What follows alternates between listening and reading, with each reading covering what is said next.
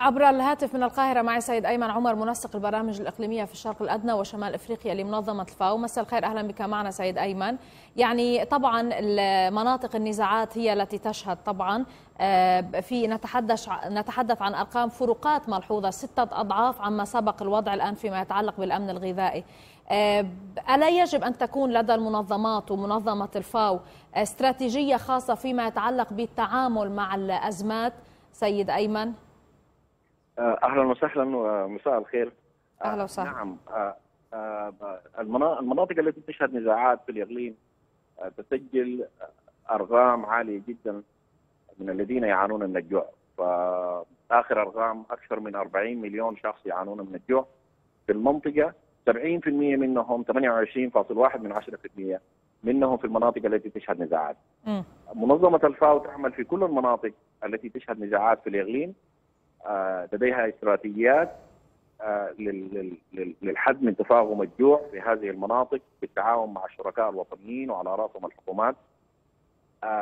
نعمل في كل هذه المناطق من خلال تقديم المعونات الإنسانية العاجلة في المجال الزراعي وفي نفس الوقت نقوم بالتعاون مع الشركاء الآخرين في المساعدة على التحضير للمرحلة القادمة وهي مرحلة الإعمار في هذه البلاد.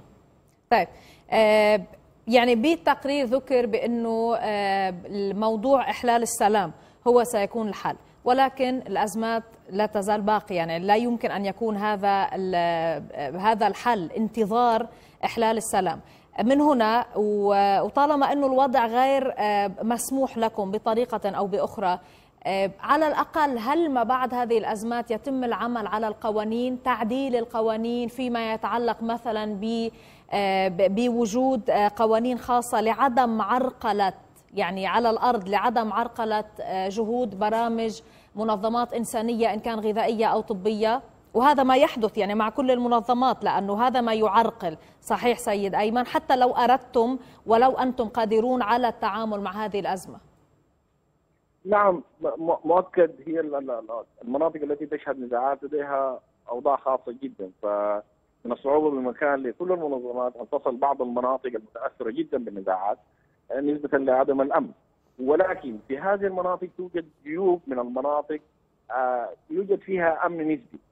فعلى سبيل المثال في سوريا حتى الآن المزارعين صغار المزارعين ينتجون أكثر من 50% من احتياج الدولة احتياج م. سوريا بشكل عام.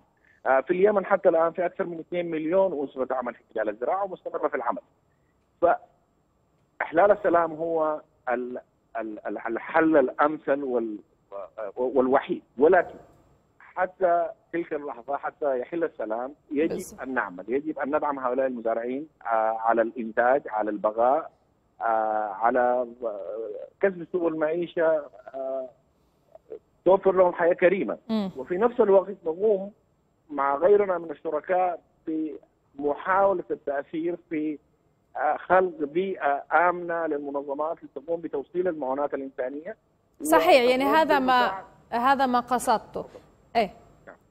نعم نقوم نقوم مع بقية الشركاء بمحاولات لسن قوانين أو على الأقل التوصل لاتفاقيات وإن كانت مرحلية تضمن وصول المعونات للمحتاجين تضمن أه. بأي يعني الأرقام لديكم بهذا التقرير سيد سيد أيمن؟ عن أي عام نتحدث الفروقات؟ عندما نتحدث عن ستة أضعاف يعني في من يقول بأنه بكثير هذا الرقم خاصة بأنه على الأقل الأزمات ما زالت مستمرة طبعا ولكن أقل مما كانت عليه من عنف في فيما مضى في السنوات القبل يعني وكأن تنتهي العملية في أكثر من بلد. نعم هي الأرقام مثلا في في حوالي من عام 1999 ل 2001 عدد الأشخاص الذين يعانون من الجوع في الإقليم كان حوالي 33 مليون. آه الآن 40.2 من 10 مليون. آه نعم. في الدول التي لا تشهد نزاعات انخفض الرقم من 12.3 ل 12.1 ولكن تضاعف بشكل كبير جدا في الدول التي تشهد نزاعات. آه. طبعا. لأنه عم نحكي من على أنه صحيح. يعني النزاع هو محرك أساسي طبعا. الامن الغذائي في المنطقة وخاصة إنه ما سبق عم نحكي عن قبل أصلا بداية الثورات. شكرا جزيلا لك سيد أيمن عمر منسق البرامج الإقليمية في الشرق الأدنى وشمال إفريقيا لمنظمة الفاو. شكرا.